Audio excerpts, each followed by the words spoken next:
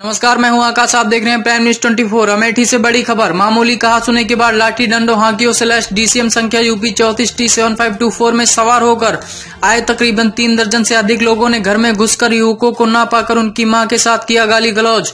अभद्रता व मारपीट, दहशत में सहमा पीड़िता का परिवार। मामला कोतवाली मोहनगंज के कस्बा तिलोई के नारायणगंज तिराहे का है। मौके पर पीएससी व कई थानों की पुलिस फोर्स ने मामले को काबू किया। मौके का जायजा लेने पहुँचे सीओ संतोष सिंह। मध्यांचल ब्यूरो के साथ अमेठी से विजय सिंह की रिपोर्ट।